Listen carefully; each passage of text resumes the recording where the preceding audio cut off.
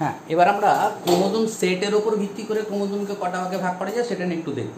আর set বলতে আমরা কি বোঝাই? না, ক্রোমোজোম কীভাবে থেকে? একটা করে থাকে না, দুটো করে থাকে না, তিনটে করে থাকে না, তার বেশি সম্ভব থাকে। দেখা গেছে ক্রোমোজোমগুলি তার উপর ভিত্তি করে আমরা চারটে ভাগে ভাগ করেছি। একটা হচ্ছে haploid set chromosome diploid set chromosome triploid set chromosome আর polyploid set chromosome.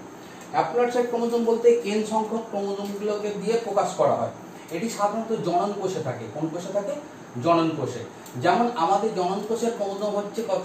না, আমাদের জনন কোষে haploid chromosome N is equal to twenty two plus twenty two A plus A মানে autosome twenty two A plus X or twenty two A plus Y এই দুটো যে কোনো একটাতে থাকে। ডিপ্লয়েড সেট ক্রোমোজোমকে কোথায় পাবো? এটা আমরা দেহ কোষে পাবো। কোন কোষে? দেহ কোষে। দেহ কোষের প্রোটোজোমকে আমরা অটোজোম বলি, তাহলে এখানে এ ইজ ইকুয়াল টু বাইশ জোড়া মানে বাইশ ইন্টু টু সমান চুয়াল্লিশটি। মনে থাকবে? তাহলে আমাদের মোট ক্রোমোজোম হলো কত? চুয়াল্লিশ আর দুই, চুয়াল্লিশটা অটোজোম প্লাস এক্স এক্স বা চুয়াল্লিশটা অটোজোম প্লাস এক্স ওয়াই এই দুটো মিলে আমাদের ছচল্লিশটি করে ক্রোমোজোম। এইখানে এটা একটু বলার আছে, এটি হচ্ছে ফিমেলের ক্ষেত্রে। আর এটা হচ্ছে মেলের ক্ষেত্রে।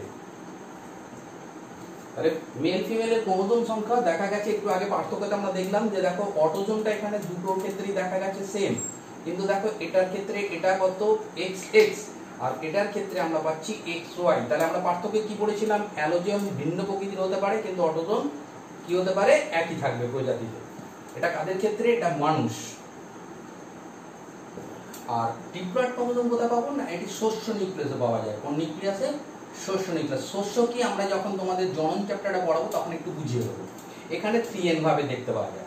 আর পলিপ্লয়েড ক্রোমোজোম কি? এটি সাধারণত কৃত্রিম ভাবে তৈরি করা হয় হ্যাঁ সংকরায়ন পদ্ধতিতে তৈরি করা হয়। এটি সাধারণত সংকরায়ন পদ্ধতিতে তৈরি করা হয়, এটা তৈরি করা হয়। যেমন পলিপ্লয়েড গম তৈরি করা হয়েছে। উচ্চ ফলনশীল গমগুলো সাধারণত পলিপ্লয়েড প্রকৃতির। তাহলে আজকে আমরা ক্রোমোজোমের ক্লাসিফিকেশনটা এখন পর্যন্ত শিখলাম। এরপর আমরা নিউক্লিওজোম মডেলটা নিয়ে একটু আলোচনা করে তারপরে একদম আমরা ক্রোমোজোমের রাসায়নিক গঠনে চলে যাচ্ছি।